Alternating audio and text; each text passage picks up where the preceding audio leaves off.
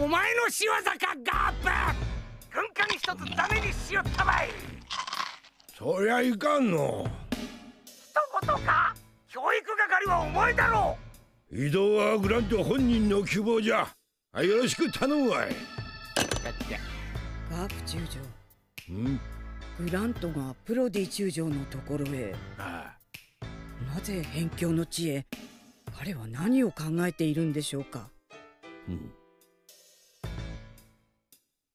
たくクソじじいが。貴様どういうつもりでここに来た？ビッグマムが近くにいるんだろ？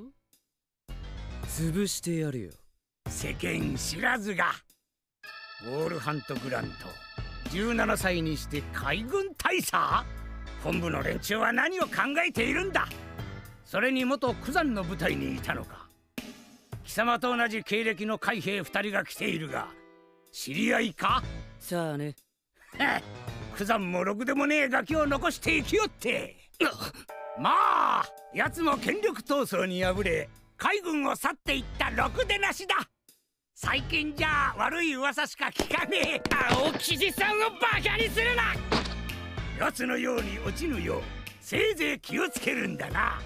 おいこいつもすぐに任務についてもらう。少し休ましとけ。はい